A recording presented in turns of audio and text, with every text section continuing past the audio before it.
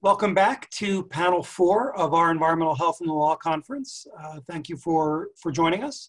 Uh, I would like to uh, turn the podium over to uh, Dr. Darcy Freedman, who is the director of the Mary Ann Swetland Center for Environmental Health here at Case Western Reserve University, which is one of the co-sponsors of our program.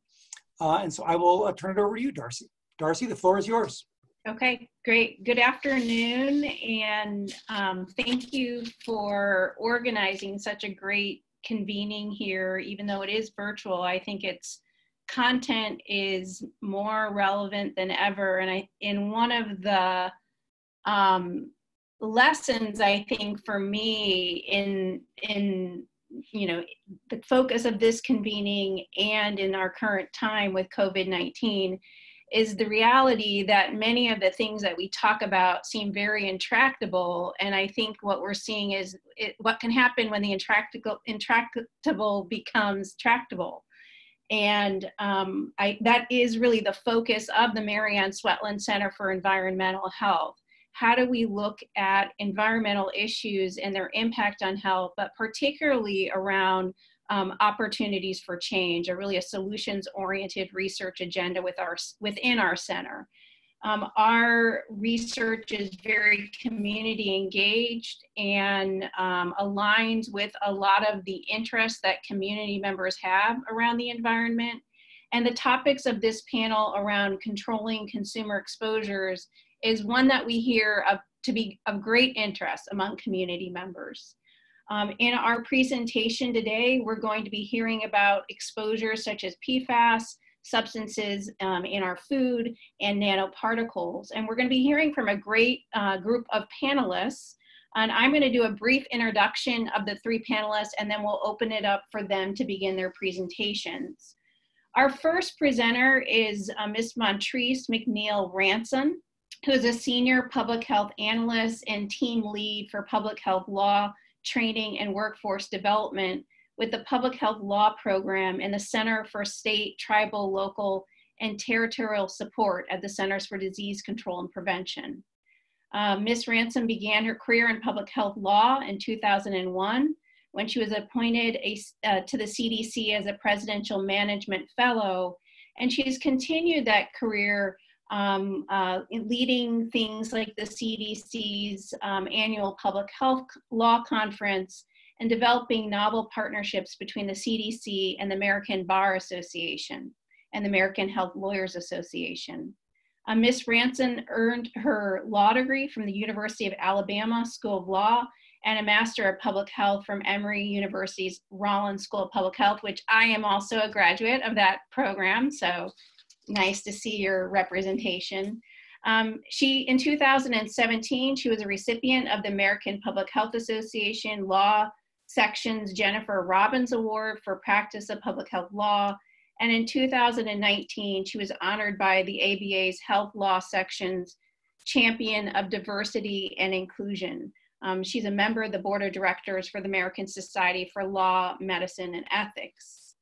Our second presenter is Miss or is Professor Professor Steph Tai, who's a professor at the University of Wisconsin Law School. Professor Tai's scholarly, scholarly research examines the intersections between environmental and health sciences and administrative, environmental, and food law. These include the consideration of scientific expertise in environmental justice concerns by administrative and judicial systems as well as the role of scientific dialogues in food systems regulation and private food systems governance. And then our third presenter is uh, Professor Katharine Van Tassel. She's a visiting professor of law at Case Western Reserve University School of Law.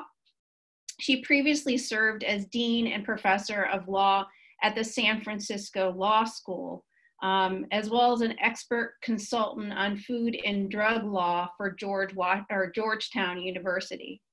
Um, she is the recipient of the 2013 Faculty Scholar of the Year at the Akron School of Law. Um, at, uh, Professor Van Tassel uh, is the co-chair of the Food and Drug Law Committee of the Administrative Law Section of the American Bar Association. Um, Professor Van Tassel is an MPH from the Harvard School of Public Health and a BSN and JD from Case Western Reserve University. So we're going to go ahead and turn it over to our first speaker. And I think, um, Jonathan, are, are, you going to transition that um, to Montrece?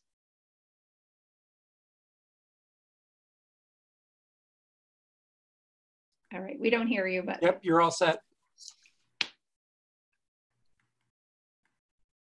Yeah, it's all, it's transition. Can you hear me okay? Yep. Perfect. I'm sharing my screen now. Um, hello, everyone. Uh, thank you for having us.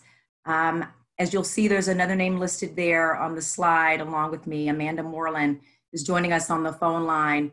Um, and Amanda is leading our 2019-2020 legal EPI work um, in understanding um, enforceable PFAS standards. And so you'll hear from her toward the end of the call um, as well. So we've got about 15 minutes and in our time, we're gonna try to describe um, PHLP's work um, in uh, PFAS, in polyfluoro and perfluoroalkyl substances, collectively known as PFAS. Um, I'm gonna talk to you about our work that um, looked across states beginning in 2018, um, and then uh, turn it over to Mandy to provide a bit of an update. So um, before we do any presentation, uh, within CDC's public health law program, we are required to give a disclaimer. And uh, basically, it says that I'm a lawyer, but I'm not your lawyer. We're going to talk about law stuff. Uh, if you need legal advice, please consult um, someone who is licensed in your jurisdiction. It's also important to note that the contents of this presentation, although cleared, um, do not necessarily represent um, official CDC determination or policy. All right, so uh, how many of you guys have seen uh, I guess by wave of, of, hands, for those who I can see on the screen, have seen this map or maps like this from Robert Wood Johnson Foundation. Okay, yeah, I see some heads nodding. So what, what we've done in the public health law program in the field of legal epi is really try to um, create a scientific way to study the connection between law and health outcomes. Um, so when we look at this map, you can see at exit 189 versus uh, exit 132, there's a 12 year difference in life expectancy in two neighboring counties. When I teach this um, to public health practitioners, I often ask, why do you think that is? And the answers vary. But our, our point really is that question about li why life expectancy might vary so significant, significantly um, in neighboring counties is one that legal epi can help us answer. So legal epidemiology um, investigates how differences in the existence or the enforcement of certain laws might affect health. So for example, Merced County, in, in this particular example, may have regulations in place about smoking or road safety um, or clean water, or maybe Merced County and Fresno County both have the same set of laws, but maybe there's some differences in the way those laws are being enforced. But ultimately, what Legal Epi aims to look at is to really look at how law can be a factor in the cause, distribution, um, and prevention of disease and injury in a population. At its most basic level, it is indeed legal research, um, but it is not legal practice. Uh, legal practice, from our perspective, is really focused on um, applying the law. Legal epi is focused on studying the law and then evaluating how the language of the law and how it's being enforced can impact health outcomes.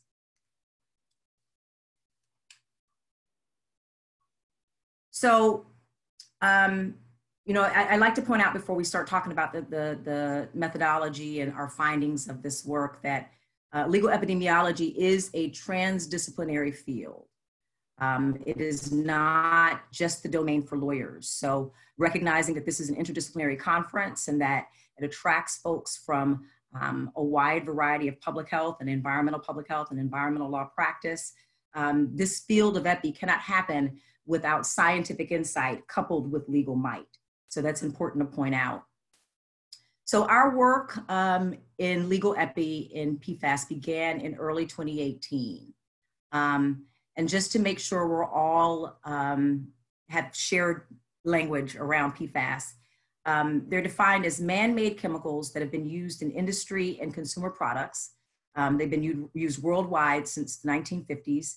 Um, they were used in non-stick cookware, so think Teflon, um, water repellent clothing, stain resistant fabrics, um, carpets, some cosmetics, um, firefighting foams, and other products um, that are manufactured to resist oil and, and water and grease.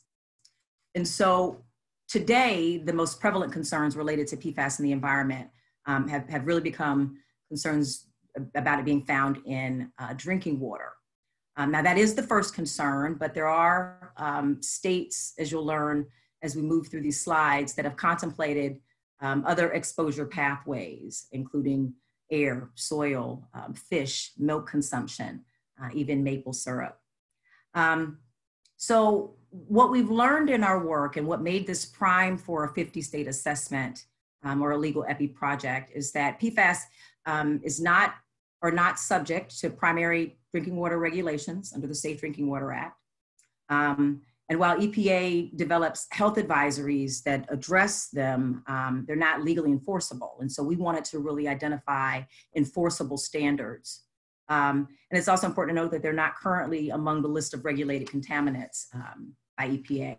So we know that, that fed several federal laws have been used to um, used to use used to regulate PFAS, but most of what we're seeing happen is happening on the state level, and that gave us um, a prime opportunity to do a 50 state assessment. So what did we do? Um, one of the first things we did was we really aimed to kind of define um, the problem. We started with um, uh, environmental scan, a literature review, um, and what we learned is that most companies um, started or stopped manufacturing or importing PFAS um, in the early 2000s, but they persist in the environment and continue to expose us humans in potentially unsafe ways. Um, and I'm careful with my language that we say potentially unsafe um, because we're still learning about the human health impacts. We know that they accumulate in our biological tissues, um, but, but we're still learning about what they do to human health. Uh, animal studies have found that uh, animals that are exposed to PFAS um, at, at, particularly high levels um, resulted in changes in, in, the function of liver, thyroid function, pancreas, and other hormone, hormone levels. So we are definitely um, studying the human health impacts. So our work um, and generally, any legal epi study, um, the beginnings of a 50 state assessment kind of look like this. Um, these are the three steps, the three basic steps um, that our team took um, to, to do this work. So the first thing we did, as I mentioned, was conduct a literature review, an environmental scan of PFAS law and policy topics so that we could help identify the, the attributes we may want to look at in the law um, when we started doing our legal research. So our team identified laws, including um, statutes and regulations in each of the 50 states. Um, and then we also collected publicly available state policies, which proved um, interesting and important as, as we moved through this work. Um, that allowed us to generate 24 coding questions, so 24 distinct questions to be answered um, by looking at laws on the books um, and, uh, and, and, and publicly accessible policies. and that gave us uh, sort of the scope of which we wanted to study these, these laws.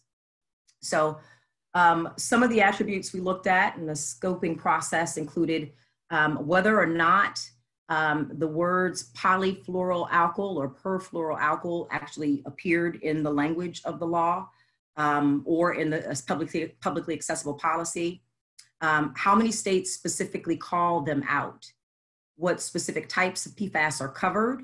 Um, what sources of exposure or environmental exposure pathways were contemplated in the law or policy, and then whether there are limits um, included in the, the language of the law or in the policy, and then whether or not those, those limits, those concentration limits of PFAS are binding or not.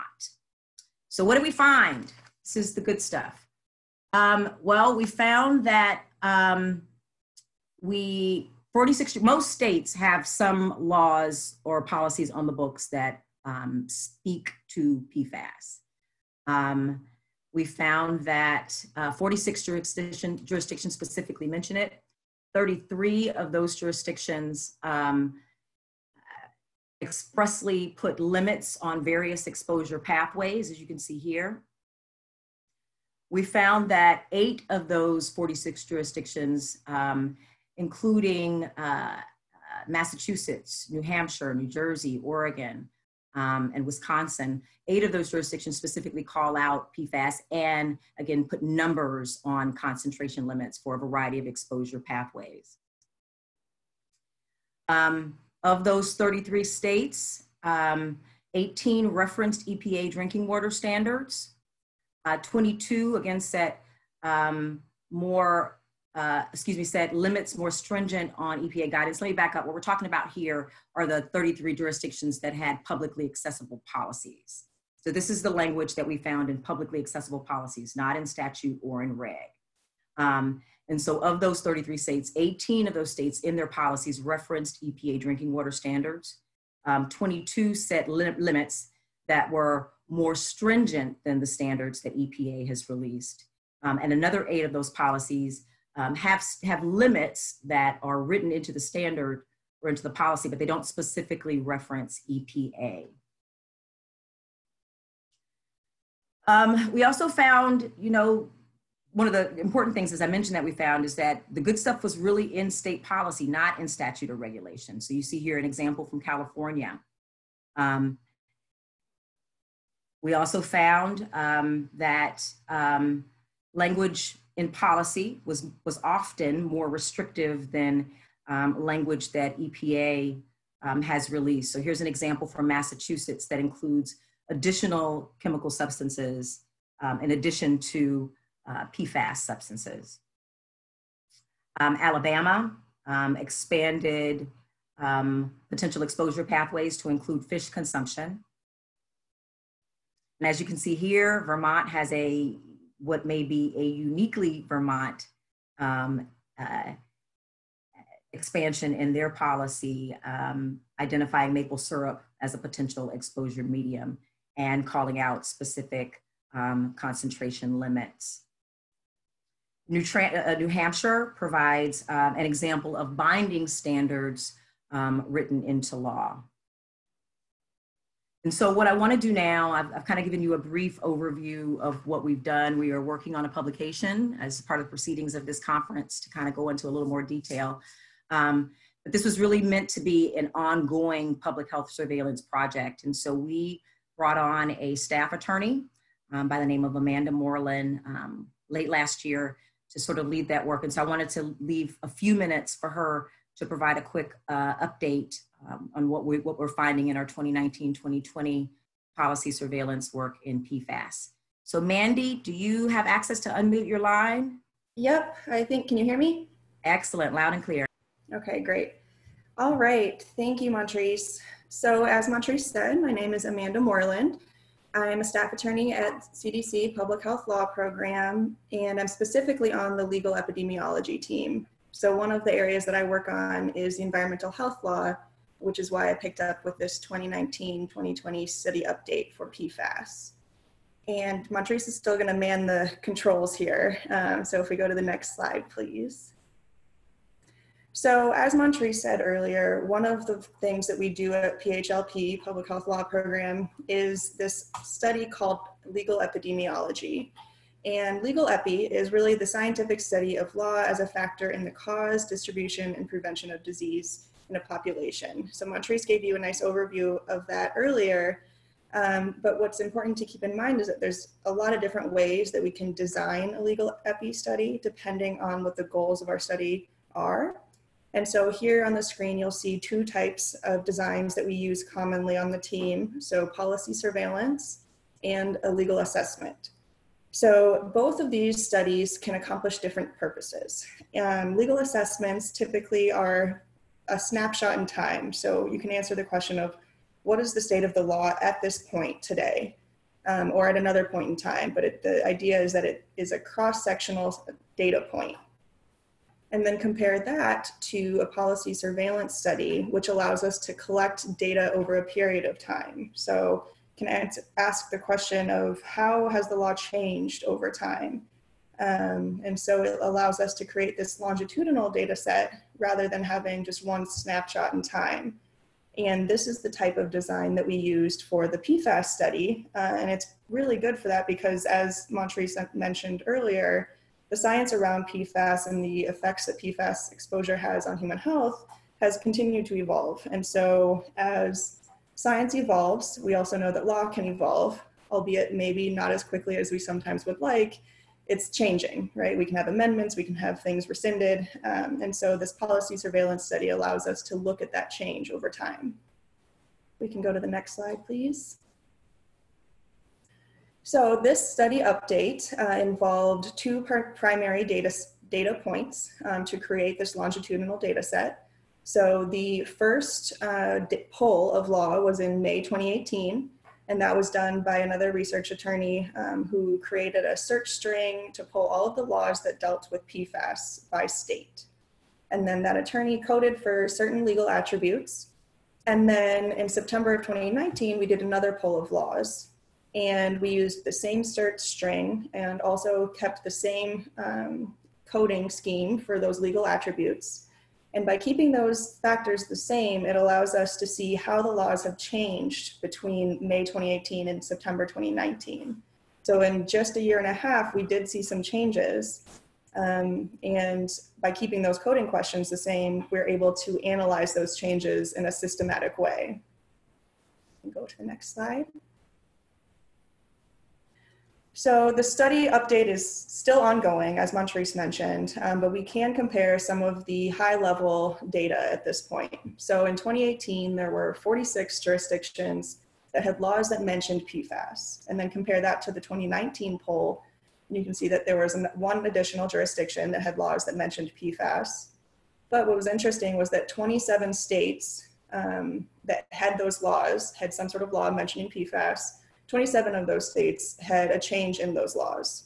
So that doesn't necessarily mean that they changed the um, limitation that they set in terms of exposure or um, that they changed something specific to PFAS exposure, but that just means that there had been some sort of amendment to the laws that they had relating to PFAS.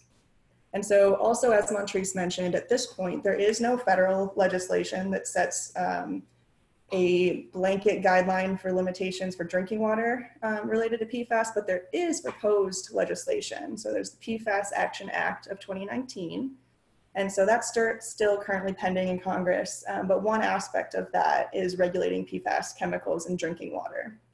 So we'll continue to monitor the proposed legislation at the federal level. And like I said, this study update is still ongoing. So we will continue monitoring the state level laws and policies and we've also started monitoring case law relating to PFAS. And so there's been some interesting updates to that. Um, and we'll continue watching how that plays out in different jurisdictions. And so one thing to just keep in mind as these updates come and as laws change, um, as the science grows, we hope to, to, be able to see that the laws and policy um, changes can keep up with that science. So I think we're just about at time, so I will turn it right back over to Montrece. Okay, perfect. Thank you so much, Mandy. Um, and thank you all for your time. Um, I, in closing, I just want to reiterate that this is just a quick overview of um, our work in legal epi focused on PFAS. Um, it is a policy surveillance project that should be ongoing, um, and we're hopeful to uh, publish our, our findings as we have them in the proceedings for this conference, um, but also on our website if you're interested in more information. Um, and there's our contact information if you'd like to know more about our methodology or the work we do in the public health law program. Thank you. Great. Thank you, Ms. Ransom and Ms. Moreland. Um, that was an excellent presentation, and I look forward to our conversation and the discussion. I will now go ahead and turn it over to Professor Tai. Nice. Okay, I'm unmuted. Yep. I'm going to do the share.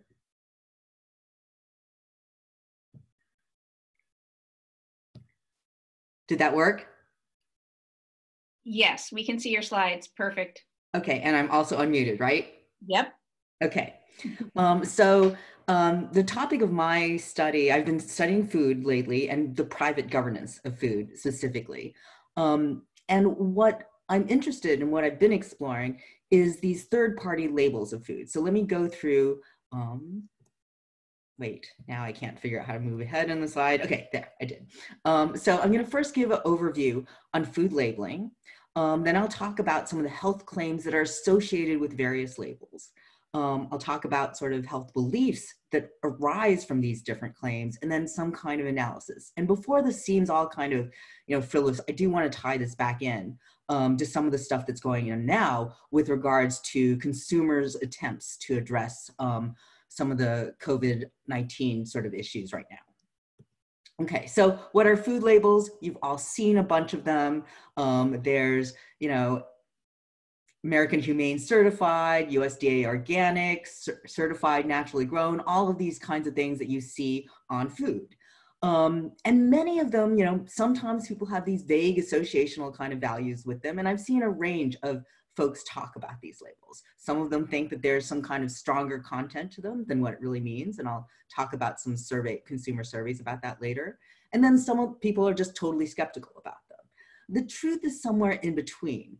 But my focus is the understanding of what these labels mean with respect to both public health and also individual health and environmental health.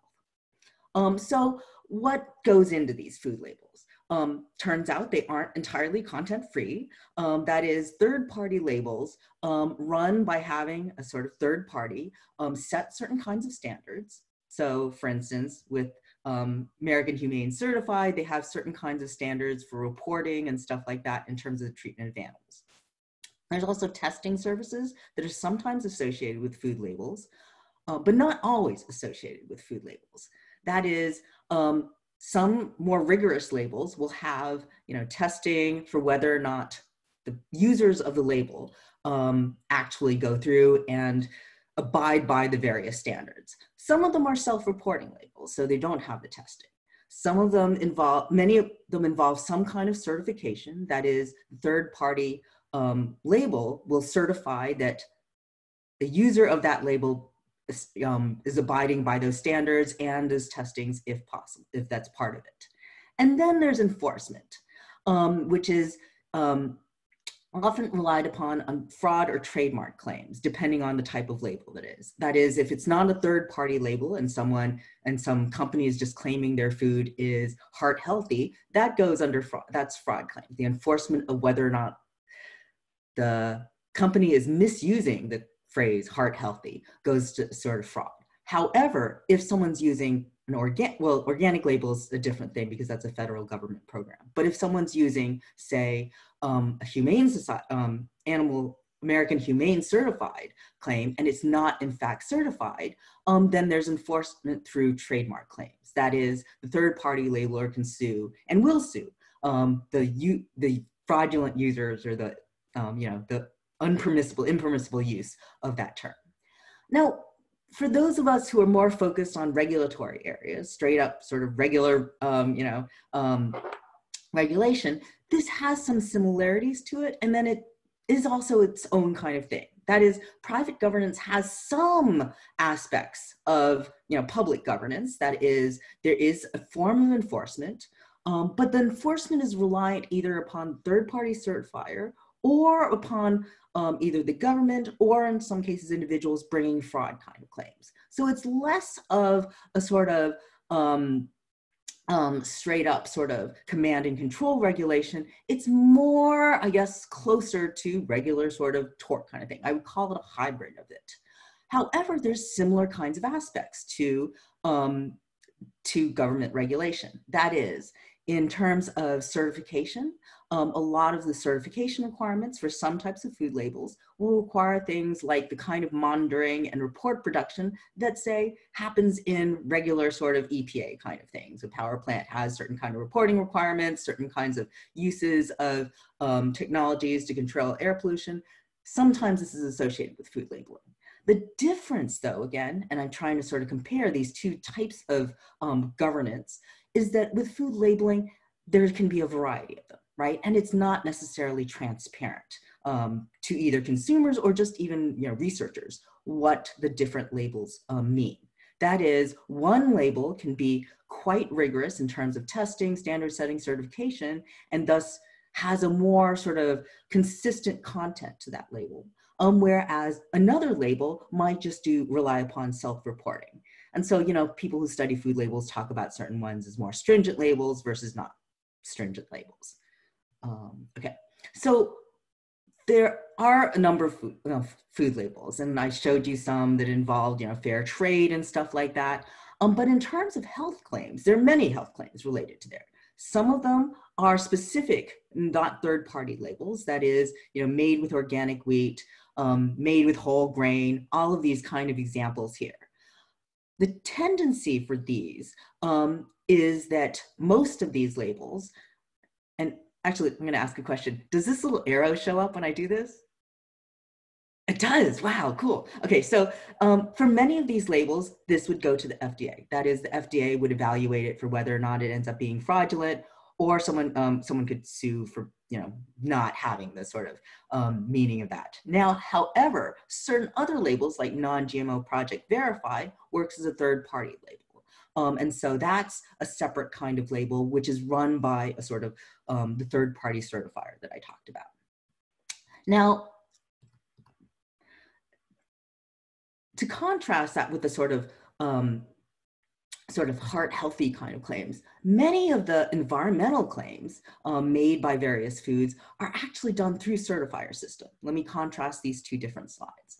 See the 100% natural, uh, milk from cows not treated with RBST. All of these are sort of individualized claims, again, FDA kind of claims. Environmental claims, however, many of them go through the third party certification process that I talked about earlier. Um, how, again, the sort of rigorousness of each third party certifier is different. Um, and the one the labels, USDA Organic, is actually a federal program. Um, so all of these have a different kind of um, governance, say, than the sort of pure marketing kind of claims. Now, what does this mean? There's a muddle, like I said, of these different types of claims. There's sort of health claims, there's environmental claims, and then there's some claims that are sort of in between. That is, um, you know, um, sort of um, antibiotics free and stuff like that, where people sometimes buy that label because they're thinking about personal health. And then sometimes people buy foods from that label because they're concerned about sort of environmental health. Now, here's where um, I'm going to tie this in a little bit with the current pandemic that's happening. Um, with regards to foods, consumers are definitely interested in food labels. Um, there's been consumer reports um, suggesting that consumers actively seek labels, although they won't necessarily buy um, you know, a higher price product depending on the price point, depending on the label, but they will look at it. Um, and they're considered as important, uh, both health labels and environmental labels. Again, um, different consumer reports suggested that um, consumers, even if they don't buy on those bases, um, they actually are interested in seeing the content of those labels. However, there's confusion as to the meaning of those labels. Um, that is, when we talk about sort of public health, we think of a certain thing here in this conference. And when we talk about environmental health, we think of another thing. Then when we talk about sort of individual health versus public health, we think of something else. Consumers um, don't necessarily approach things in that divided a manner. Um, for example, um, Pew Research has done studies on consumers buying organic and GMO free. Um, and Many of them do so for personal health reasons, even though it's not exactly established um, that there's, for many foods, that there's a personal health benefit to it. However, there are more established um, environmental benefits to it. And again, consumers don't necessarily distinguish those two. There's other kinds of interesting labels that, you know, my paper will go through where consumers are expressing different confusion regarding the meaning of labels. That is, um, consumers buy kosher for health reasons. There are many people who do that. Um, and that suggests that people are taking sort of associational values and attributing them to having some individual health benefit and maybe even some sort of um, public health benefit. I mentioned antibiotics free labels earlier um, because you know that's another area where um, consumers tend to buy um, antibiotics free um, sort of products for personal health reasons, thinking that they're going to accidentally be exposed to many antibiotics versus the public health reasons that are actually associated, right, with antibiotics, which is sort of the, um, you know, the concern that antibiotics resistance, um, resistant bacteria will breed. Okay, so what does this mean? Um, there, the problem is here that there are few internal incentives for companies to address this conflation of values.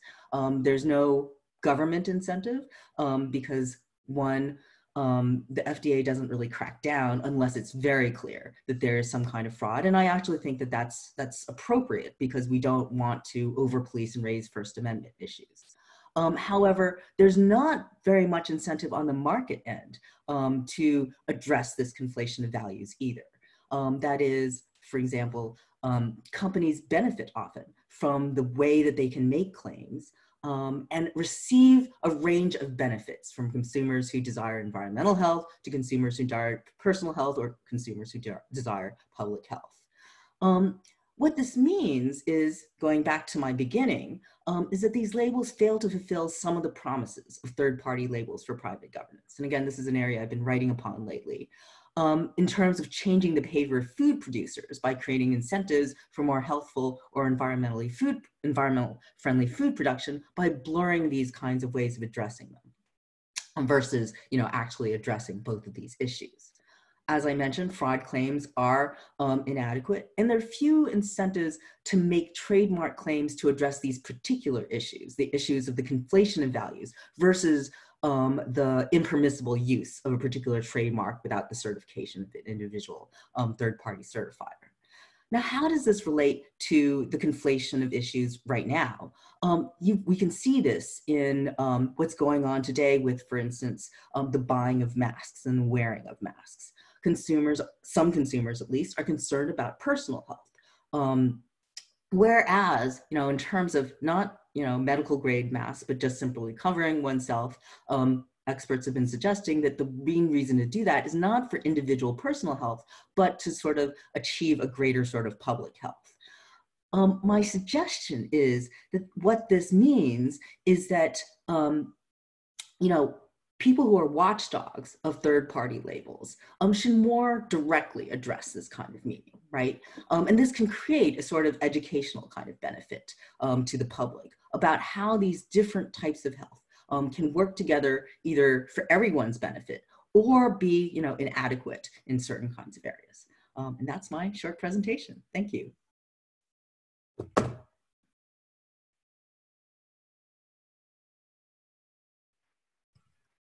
Super, thank you so much. Um, and we'll go ahead and turn to our final presenter, um, Professor Van Tassel. And I hope I'm saying your name correctly. You're doing great. Can you hear me okay? Yes, we can hear you. Thank you. Okay, and can you see my slides? Mm-hmm. We can. Wonderful, wonderful. Hello, everyone. Uh, I'd like to thank Professors Hoffman and Adler for inviting me to speak with you today, and thank you all for welcoming me and for allowing me to share with you my presentation is Nanotechnology, the New Asbestos. Just a couple quick side notes before I start. First, I want to point out that nanotechnology holds great promise for use in medicine, for example, to deliver cancer treatments directly to tumors without injuring the, injuring the surrounding tissue. So nanoparticles can deliver good things to intended places, but they can also deliver not so good things to unintended places. Second, the risk to public health from nanotechnology comes from several different types of exposures. Worker exposure from making nanotech products and handling products at the end of their life, environmental exposure from manufacturing or garbage, and consumer exposure to nanotech pro pro products. In this presentation, I'm focusing on consumer exposure to nanotech consumer products. I hope to be able to answer the following questions about nanotechnology for you today. What is it? Where is it? What consumer products contain nanoparticles? What are the health risks associated with exposure to it? How does the FDA regulate it? Will the CDC's early warning and recall system work to prevent an injury epidemic if a nanotech product causes serious injuries? What can a consumer do, if anything, to engage in self-protection? If a consumer is injured, can he or she recover under the tort system? And finally, I will share with you my proposal how, for how the FDA could regulate nanotech products and products using other innovative technologies that have never been seen before in nature to both protect public health while encouraging innovation. Starting with the first question, what is nanotechnology? According to the National Nanotechnology Initiative, nanoscience is the science and art of manipulating matter at the nanoscale to create new and unique materials and products. Well, what does that mean and how small is small? This cartoon is a good introduction to the concept. To help you visualize just how small we're talking here, let's start with a picture of an ant carrying a microchip that is 1 million nanometers in size. 1 million nanometers is the size of the head of a pin. This virtual robot on the head of a pin is still 500,000 nanometers in size. So this robot is not a nanorobot, it is way too big. One ragweed pollen is 20,000 nanometers. One red blood cell is 2,500 nanometers. Here's a picture of a small virtual robot injecting medications directly into a red blood cell. But this robot is still not a nanorobot. It's too big at 2,500 nanometers in size. And finally, one nanotube is two nanometers. So when we're talking small, we're talking really small. On the other hand, the nanotech product market is huge and is growing daily. Thousands of tons of nanotech products are produced each year. Globally, over $7.3 billion in nanotech manufactured goods are produced yearly. Experts are predicting that the global market in nanotech products will reach $16.8 billion per year by 2022. So where are these nanoparticles being used? Nanoproducts include sporting goods, cell phones, digital cameras, coatings for eyeglasses, paints, stain-resistant clothing, odor-eating socks, and light-emitting diodes used in computers. These kind of products cause less public health concern because most of them contain fixed nanoparticles. In other words, they're contained in a solid matrix. Of more concern, of more health concern to consumers are free nanotech particles, which are particles suspended in liquids that are easily absorbed by the body. Currently, one of the largest categories of products that use nanoparticles in liquid form are cosmetics. Here we can see the common brand of skin cream, Lancome. The most common form of nanoparticle used in cosmetics are fullerenes, commonly called buckyballs. Buckyballs are less than 50 nanometers in size. You can see that they look like hollow soccer, ball, soccer balls. Here's a picture of what buckyballs actually look like. With buckyballs, this cosmetic manufacturer allegedly put skin treatment molecules into the middle of the buckyball. The buckyball is absorbed into the deep layers of your skin and then allegedly releases its cargo at its proper destination. We'll talk about what that destination might actually be in just a few slides. Almost all sunscreens on the market today now use nanoparticles. Older sunscreens used zinc oxide to block the sun's rays. Some of us are old enough to recall how white, pasty, and sticky it was. Now sunscreens contain nano zinc oxide or nano titanium dioxide, making the sunscreen translucent. It applies in a clear, easily spreadable form. Then there are nanoproducts that are marketed for direct ingestion. Dietary supplement manufacturers are jumping onto the nanotech bandwagon in a big way. Sausage was one of the first entries into this category. Now there are over 119 food products that contain nanoparticles. Most recently, some tea manufacturers have switched from traditional paper tea bags to plastic tea bags.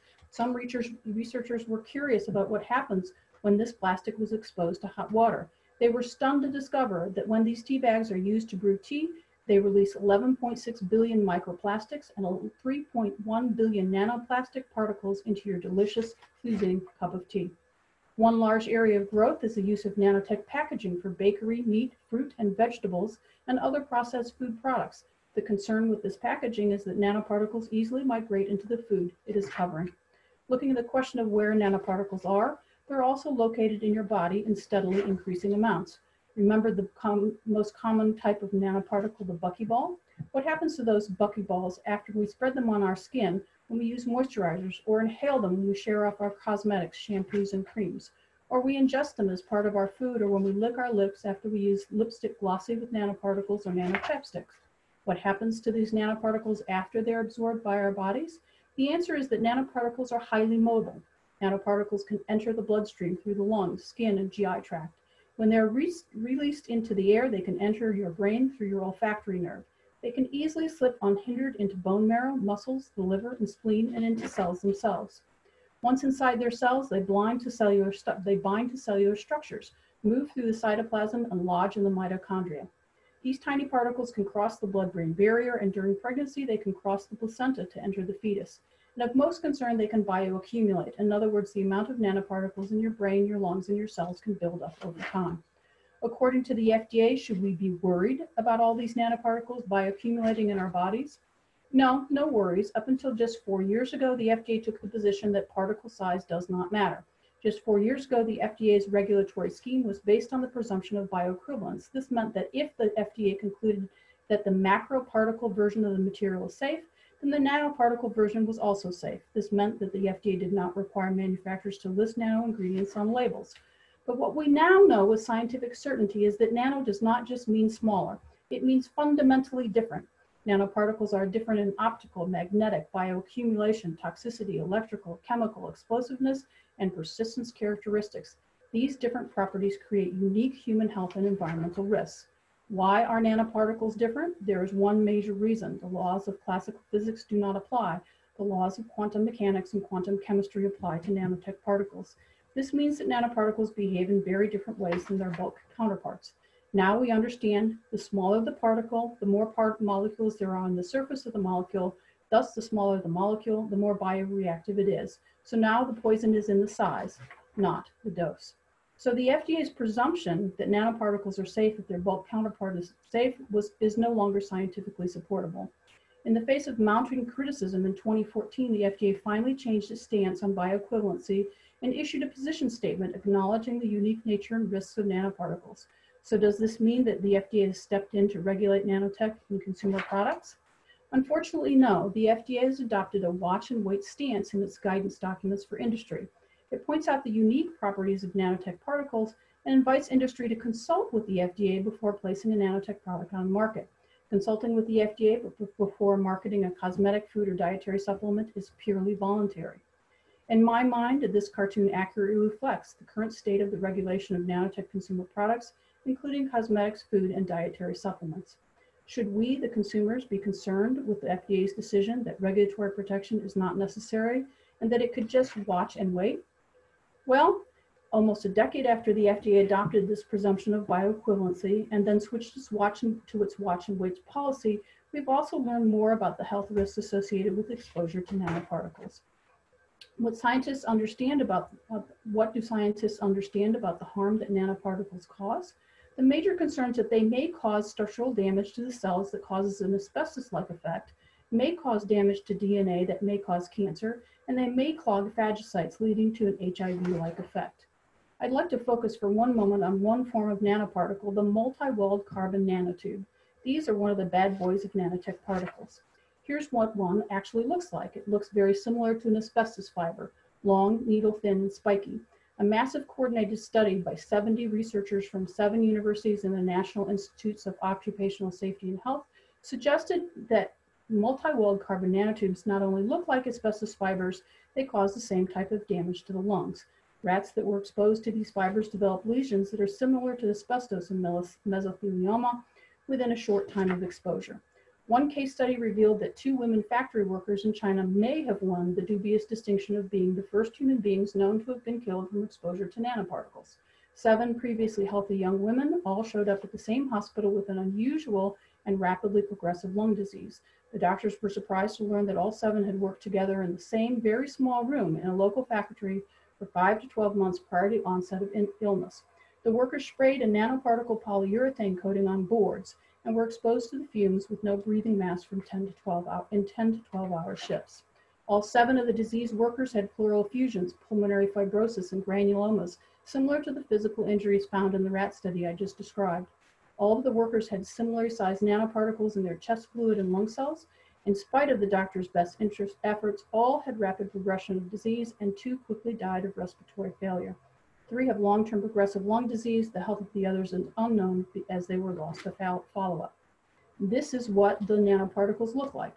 They were multi-walled carbon nanotubes coated with nanotitanium dioxide. Titanium dioxide is normally inert physically, not bioreactive, but the smaller the par particle, the more bioreactive and toxic it becomes. The manufacturer of titanium, the manufacture of titanium dioxide nanoparticles is a huge industry, producing well over 2 million tons a year. 70% of pigments worldwide contain titanium dioxide nanoparticles. This is because nanopigments are highly light reflective, making the pigments very bright. This makes the, these nanotech particles very popular for use in lipsticks and other cosmetics. And of great concern are tattoo inks that contain nanoparticles that circulate through the body and bioaccumulate in the lymph nodes. So now that the FDA has acknowledged that nanoparticles are not bioequivalent to their bulk equivalent, and the state of the science today is clear that there are increased potential and serious health risks associated that may be associated with at least some nanoparticles. The next question becomes whether this new state of scientific understanding changed the way the FDA regulates nanotechnology. Unfortunately, as you may have guessed, because I'm here talking about it, we're still here with very little no regulation of everyday consumer products that use nanotechnology. Why is this the case, you ask? To answer this question, we need to look at what phase of the scientific cycle we're in. The science on health risks normally goes through three phases. Ignorance, when scientists don't know what they don't know. Indeterminacy, when scientists know what they don't know but can plan the scientific experiments necessary to find out. Then finally, the state of science will reach a tipping point when the risks are actually quantifiable. Now the FDA has acknowledged that nanoparticles pose health risks, but the state of the science on health risks is still in indeterminate. So the FDA still can't quantify the health risks. In other words, it doesn't have sufficient evidence to make a finding that a particular nanoparticle in a particular quantity or concentration poses a health hazard when used in a particular way to a particular group of people. The good news is that when science is in indeterminates, the scientists know what they don't know and are actively involved in studies to find out the actual health con consequences of nanoparticles. However, until the FDA has enough data to use classic risk analysis to quantify the risk and label a certain type of nanoparticle hazardous, it can't regulate that type of nanoparticle. This means that until science can quantify it, the FDA's hands are tied. This is a problem that arises repeatedly when the development of an innovative new technology outpaces the development of the science necessary to identify its health risks. Other examples of when there was a long lag time, long lag time of 30 to 100 years between the introduction of new exposure and the ability to quantify the health risks associated with these exposures include medical x-rays, benzene, lead, and asbestos, to name just a few. When the state of the science is in ignorance or indeterminacy, Public health regulators like the FDA are operating in what I call the space between or in the health risk information void. What does this mean to consumers? According to the FDA, since it's uncertain what the health risks are for consumer exposure to nanoparticles, nano content does not render a product unsafe. Therefore, nano content is not material, and there's no need to list it as an ingredient on the product label.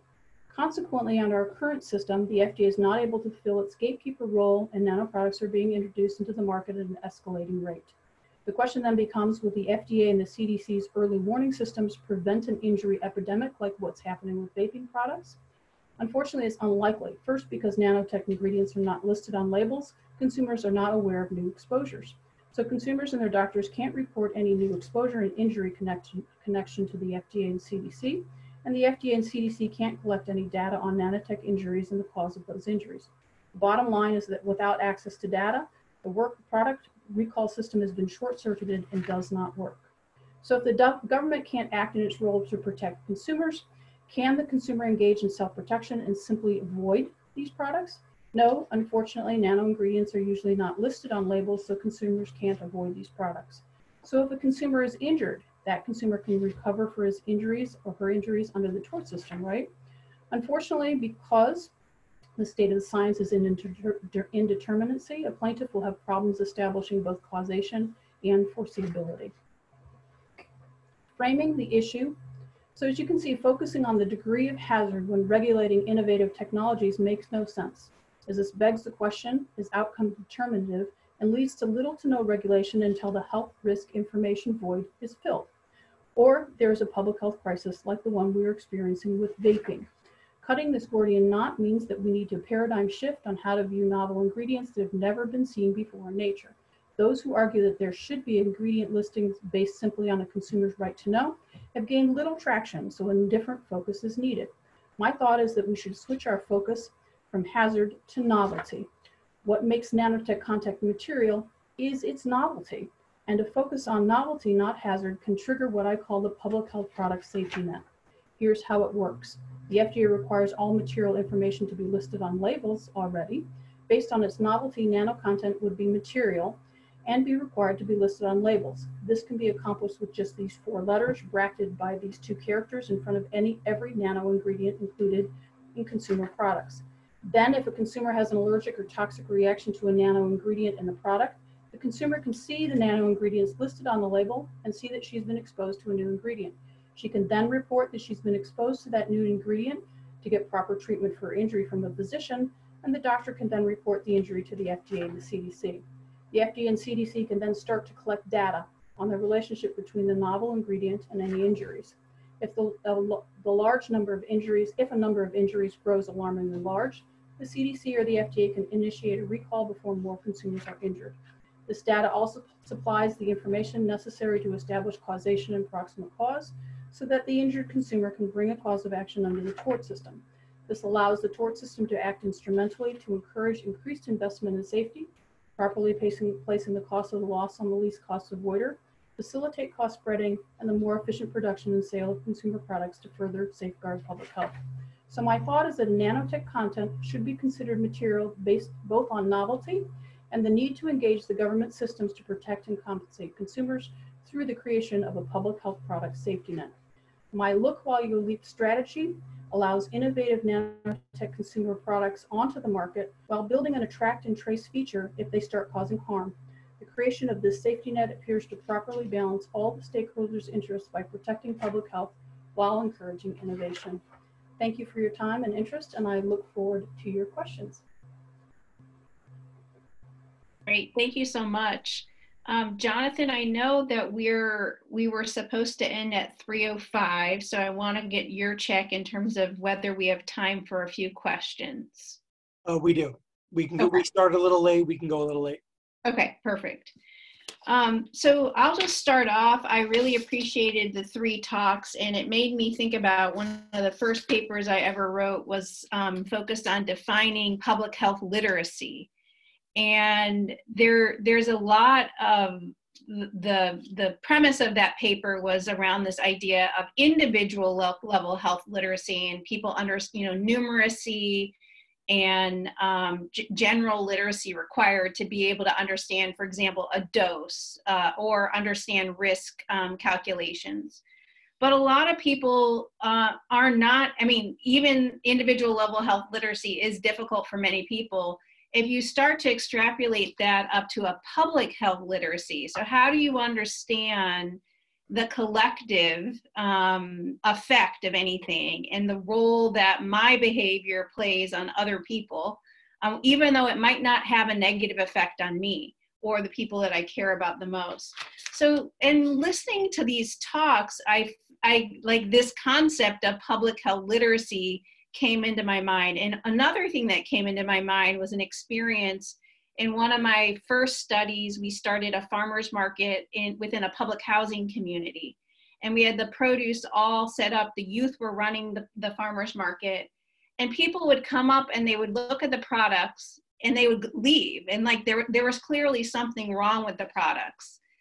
And so we finally asked people, why aren't you buying any of the produce? And somebody said, it's not wrapped in plastic and there was this view that if you had uh, you know if, if it was sanitary and clean hygienic produce it would have been wrapped up in plastic to keep the germs out of it um, and so it sort of raised a question for me across your project is, is how do how do we develop policy that takes into account people's varying levels of capacity to understand things like nanoparticles and environmental exposures. And and then furthermore when the tools that are developed like a label like maybe that's what i'm thinking is my helper um, to make me help me make a quick decision are really not necessarily developed maybe for my interests um, maybe they're really designed to promote you know economic opportunity for whatever some kind of corporation. So how do we think about the, the um, connection between your projects along this idea of public health literacy? And you know what does it mean in terms of risk communication um, uh, transparency in marketing of risk um, or in promotion of products? And also even in terms of policy development um, and you know, even going back to the first presentation, I do a lot of work around food policy and you know in hearing about all those uh, pfas policies i'm just curious like who's behind that policy development? Is it really being driven by a public health interest or is it being driven by some other kind of interest? Because it, i can say from the public health space which is really my space oftentimes we're not um, very engaged with with policy um, you know experts in that process. So it's always it almost feels like policy comes out of uh, not public health space. It's coming from other some other and in public health we're trying to either ride the coattail or sort of slowly um, you know uh, curve the the um, hard edges. So i'd, I'd love to hear some of your feedback on that how do we do the order thing how do we do order? If, if anybody wants to just start, that would be fine. Do you want to start, Professor Tai? Oh, sure. Um, so I actually would love to read your paper. Um, can you send that to me by afterwards? Um, yeah, I mean, my my focus has been on latest in the last few years has been on studying private governance. So um, I think here um, there's room for watchdogs. There's a lot of labeling kind of watchdogs that do comparative assessments of how um, you know how much all those little metrics that i showed before um, what kinds of testing is involved what kind of standards are involved all of that stuff and my suggestion is that those watchdogs um, could probably do more in terms of the consumer communication kind of front not just sort of assume that consumers know what it means when they put out these sort of massive reports but convey the sort of difference between what public health means, what individual health means, what environmental health means, and how they sort of correlate. So that's my small contribution to this. I don't know on the sort of greater sort of policy level though. So, so this is Montrece. You know, I our constituents in the public health law program are state, tribal, local, and territorial health departments, and so our focus is on um, and particularly on my team, has been focused on building the capacity of those folks to really understand the foundation of law as, as the, the thing that allows us to do everyday public health practice and some of the considerations that the basic entry level public health practitioner needs to know and doesn't know. And then, then also focused on building the capacity for them to understand and use law as an interventional tool. So I'm not I'm, I'm we always say we're 30,000 feet away from um, that consumer benefiting from the products that we create. But somewhere along the way, um, we hope that the materials we're creating to in, in doing our legal epi work around a lot of different topics are leading to policy change. We don't study that because we can't advocate for the uptake of any law or, or policy. So we stay away from even if, if someone tells us, hey, we read your document and we passed the law, we kind of want that conversation to end and we read your document, right?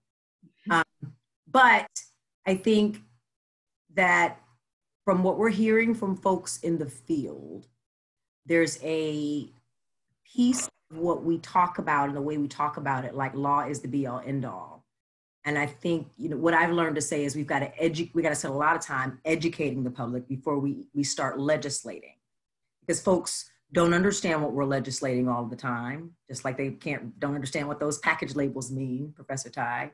Mm-hmm.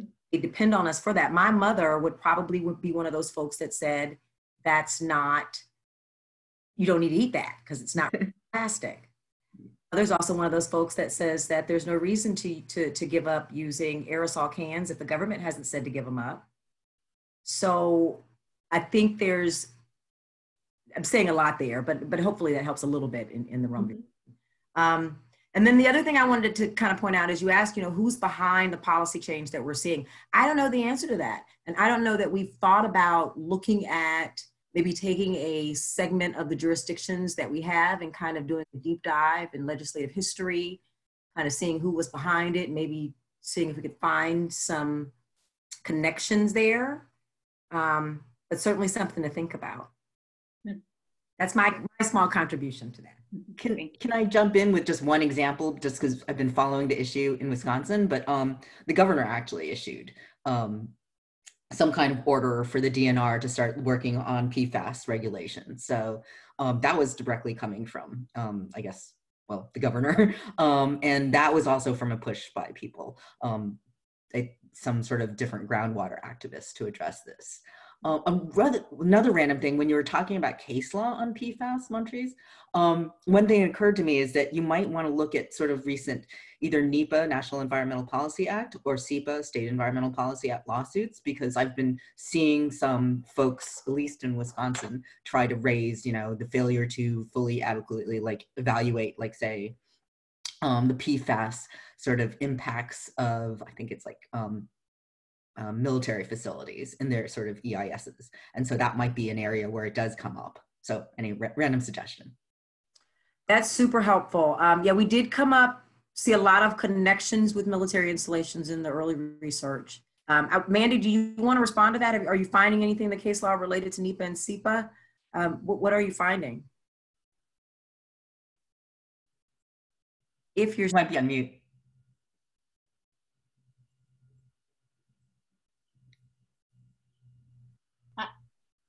If not, no, no worries, Darcy. You it looks like you are on mute, Amanda. If if you want to unmute yourself.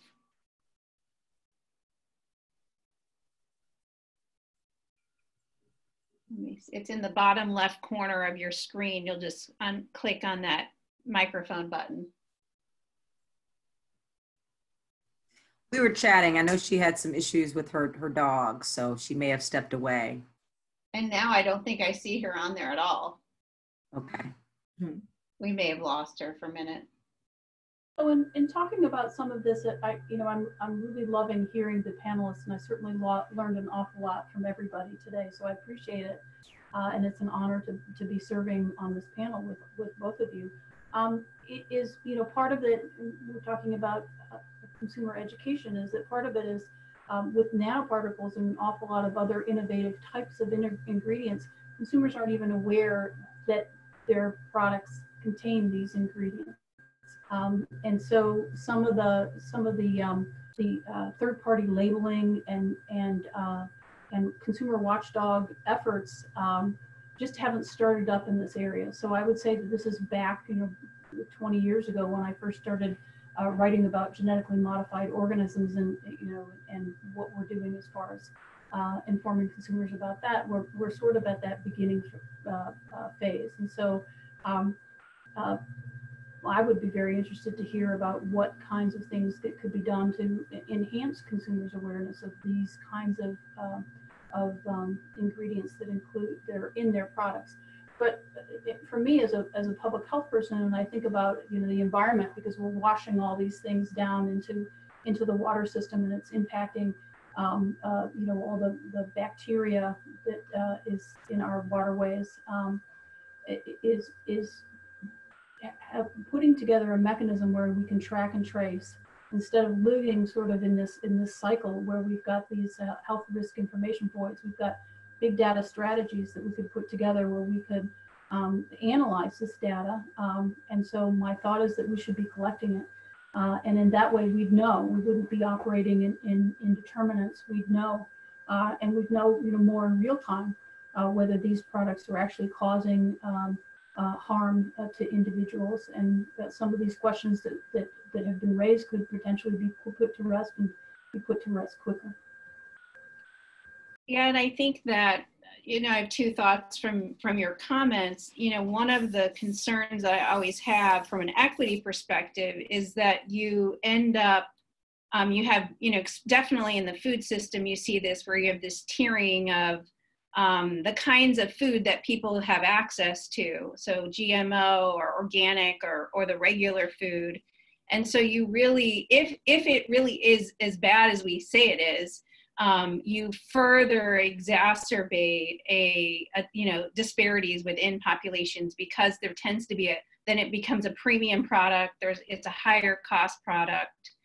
Um, i think the the other thought just around your track and trace which i really appreciated that in your um, presentation of you know kind of giving an opportunity to do something. Um, and you know i'm just wondering if there it seems like it could be difficult to get traditional regulatory groups to move that forward. Um, but if there are other, um, you know, more like taking advantage of social media and other strategies for collecting a lot of data um, at you know like to potentially gather the kinds of information that you would want to start to make a case but you know from a research perspective it also raises a lot of questions about who's reporting and potential bias in you know the the um, the groups that are able to share their story um, you know and have the capacity to to understand like you said they don't even know it's in there. So how do you know start to learn that these products are in? It you know it goes back to those literacy issues again like not everybody will learn that at the same time you know